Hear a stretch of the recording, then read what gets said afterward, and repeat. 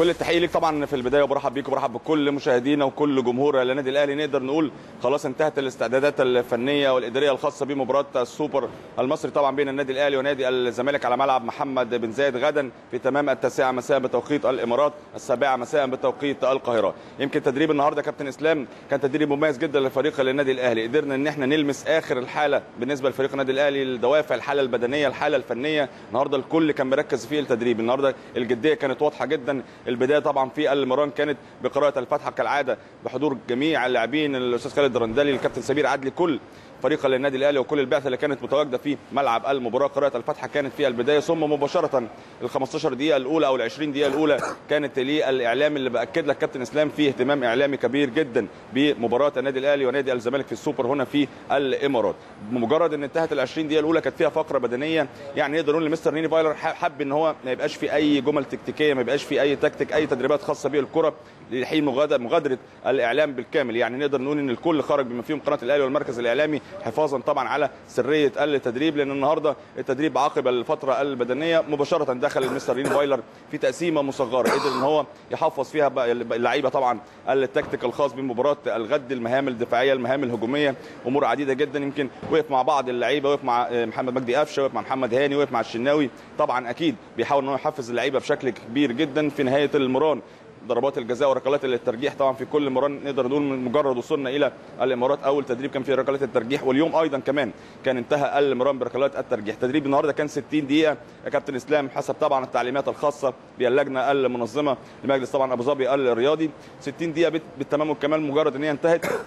انتهى المران وتوجه النادي الأهلي إلى فندق الإقامة. يمكن نقدر نقول فندق الإقامة خمس أو 10 دقائق قريب جدا من الاستاد محمد بن زايد. الأمور الحمد لله مجرد وصولنا الإقامة. دخل على طول اللعيبة إلى الغرف العشاء. خلاص يعني نقدر نقول إن الساعة دلوقتي دخل على الساعة 12 هنا بتوقيت الإمارات. عندكم طبعا أكيد يا كابتن إسلام الساعة أقل بساعتين لكن بقدر أقول لك الحمد لله حتى هذه اللحظة الأمور ماشية بشكل مطمئن. التنظيم كل الأمور دي اطمنا يمكن الأستاذ خالد درندلي كمان رئيس البعثة اطمن بشكل كبير جدا على الجماهير التذاكر. كل الأمور دي الحمد لله ماشية بشكل مطمئن. ينقصنا بقى دعوات الكابتن اسلام ودعوات كل جمهور النادي الأهلي وتوفيق ربنا سبحانه وتعالى بإذن الله يكون مع النادي الأهلي ومع مستر رينيه فايلر في اختيار التشكيلة الأمثل اللي إن شاء الله بإذن الله نعود من الإمارات بالسوبر رقم 12 في دولاب بطولات النادي الأهلي. أنا معاك يا كابتن اسلام لو فيها استفسارات. أنا هسألك الحقيقة ويعني خد سؤالي كده وافهمه شو... افهمه كويس. لأنه الحقيقة النهارده الساعتين ثلاثة اللي فاتوا دول كان فيهم كلام كتير جدا. الإزاز اللي بتكسر وراك ده من أثر الخناق اللي ما بين رمضان صبحي وكهربا ولا إيه اللي حصل؟ والله يا كابتن إسلام يعني أنا قريت الخبر فعلا وكنت آه. يعني فعلا حاجة حاجة غريبة جدا وراك صعبة. النهارده كنت مع. رمضان ويمكن. آه. والله فعلا يا كابتن إسلام يعني هو باين إن الواضح الإزاز مكسر كتير وكانت مشاجرة كبيرة جدا لكن باكد لك كابتن إسلام آه، النادي الأهلي ما فيهوش الكلام ده وأنت يعني أحد نجوم فريق النادي الأهلي وعارف يا كابتن إسلام مباراة بحجم مباراة السوبر ما عمرها ما يبقى فيها أي الأمور دي وغير كمان مباراة السوبر.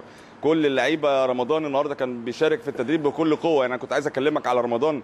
النهارده كان في ال shooting وكان في الكروسات وكان في السبرنتات. شارك في التدريب بشكل كبير جدا. لكن زي ما قلنا مستر ريني فايلر آه، قال خلاص حسم الموضوع وقال يمكن في المؤتمر الصحفي إن رمضان صبحي مش هيكون متواجد. لكن الله أعلم محدش يعرف طبعا المفاجأة أكيد. كريم آه. لسه بقول لك ما حدش يعرف طبعا المفاجأة اللي ممكن يكون محضرها مستر ريني فايلر. طبعا كلها حسابات فنية سواء مع كارتيرون أو مع مستر ريني فايلر. لكن بقول لك النهارده الحالة اللي إحنا شفناها مع رمضان صبحي في التدريب إن هو يشارك في ال shooting وفي الكروسات وفي السبرنتات الحاجات دي بتطمنا بشكل كبير جدا إن رمضان جاهز. لكن أكيد بتكون رؤية فنية للجهاز الفني في الدفع برمضان على دكة البدلاء في المباراة. لكن بأكد لك كده يا كابتن إسلام الحاجات دي ما بتحصلش في النادي الأهلي ولم يحدث هذا الأمر نهائي. يعني ممكن يحصل بره النادي الأهلي لكن في النادي الأهلي ما فيش الكلام ده كابتن إسلام. يعني انت النهارده ما حصلش قدامك خناقه كده ما مسكوش في بعض ما قطعوش القمصان لبعض الح... يعني يا كريم لازم تقول لنا برضو ما إحنا لازم برضو إيه والله نعيش إسلام لو الجو حصل. حاجة كنت أكيد أنا أول واحد أخش يعني أحوش بينهم طبعا يعني رمضان حبيبي وكهربا حبيبي طبعا بس مفيش الكلام ده يا كابتن إسلام. متأكد يا كريم متأكد باكد لك يا كابتن اسلام مفيش الأمور دي نهائي خالص. يا معسكر فريق النادي الأهلي ولعيبة النادي الأهلي عندها هدف واحد يا كابتن اسلام السوبر نعود بيه إن شاء الله من الإمارات. هو ده الشغل الشاغل سواء للجماهير لمجلس الإدارة للعيبة النادي الأهلي الكل الكل يا كابتن اسلام. هو هدف واحد مفيش أي أمور تاني إن شاء الله تعكر صفو فريق النادي الأهلي. وغدا إن شاء الله بإذن الله يا كابتن اسلام ثقتنا كبيرة في اللعيبة في. الجمهور في ريني فايلر في الجهاز الفني بالكامل إن إحنا نرجع منصورين إن شاء الله يا كابتن اسلام. ال- اليوم بكرة هيبقى إزاي يا كريم؟ يعني خلينا بقى نتكلم شوية جد يعني لأن طبعا ال ال ال الخمس دقائق اللي فاتوا دول كانوا كلهم هزار. فيعني خلينا نتكلم شوية جد. ال ال اليوم بكرة هيبقى إزاي؟ النهارده اللاعبين هيناموا إمتى؟ ولا بالفعل ابتدوا آه، يناموا؟ ولا بكرة اليوم هيبقى ماشي إزاي بالنسبة للاعبين؟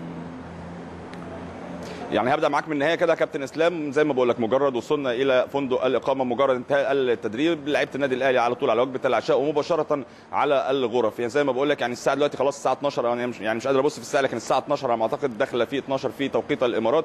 لعيبه النادي الأهلي نقدر نقول من الساعة 10 يعني أو 9 ونص كمان كانوا متواجدين مباشرة في الغرف.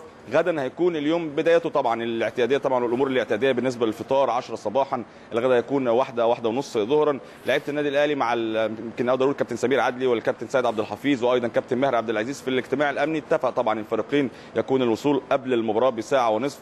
بكرة يكون زحمة كابتن إسلام ودي نقطة مهمة جدا عايز أكد عليها. بكرة يكون زحمة طبعا في الإمارات ففي ترتيبات بالنسبة للطرق إن يكون ال ال الوقت ما يكونش كبير من من فندق الإقامة لملعب المباراة. فأكيد زي ما بأكد لك هتكون محاضرة فنية أخيرة في فندق الإقامة خمس دقائق مستر نيني فايلر الفترة اللي فاتت يا كابتن إسلام على طول كانت التشكيل بيكون صباح. صباحا وأكيد بتكون المحاضرة خمس دقائق بيعلن فيها الحاجات البسيطة جدا بالنسبة لتشكيل فريق النادي الأهلي أو أي أمور حابب يضيفها. لكن بقول لك إن شاء الله بإذن الله عقب انتهاء المحاضرة هنكون إن شاء الله في الاستاد قبل المباراة بأكثر من ساعة ونصف إن شاء الله في وجود جمهور النادي الأهلي اللي إن شاء الله هيزين استاد محمد بن زايد. وبإذن الله كابتن إسلام يكون النصر لفريق النادي الأهلي. ونعود إن شاء الله منصورين كده كابتن إسلام. يا رب أنا بشكرك. شكرا جزيلا. زميلنا